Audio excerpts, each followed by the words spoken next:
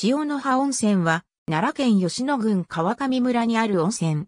2009年5月閉館となった五色湯は単純泉であり、近代的な建物であった。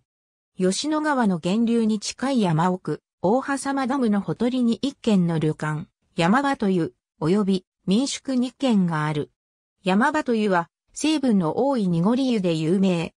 湯船は本来は木の浴槽でありながら、そうであることは全くわからないほどに、気褐色の石灰質の石質物が付着している。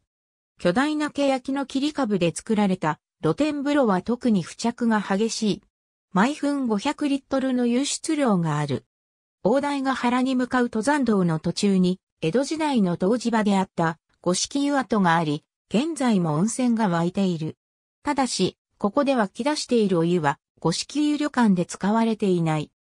古くから薬湯として知られ、平安時代にはすでに温泉として、開け湯されていた歴史があり、江戸時代には、当時に訪れる人も多かった。昭和48年に大羽様ダムが完成した際に、温泉はダム湖に沈んだが、その後ボーリングによって源泉を掘り当て、山場という旅館が営業を始めて温泉は復活した。